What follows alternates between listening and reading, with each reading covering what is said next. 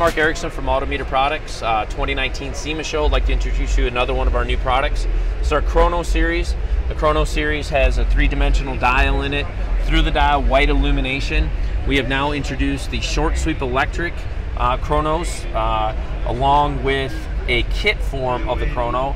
It is available, the kit comes with all of the sending units that are needed, a fuel level sending unit, a GM style VSS, and this uh, will be available at summitracing.com.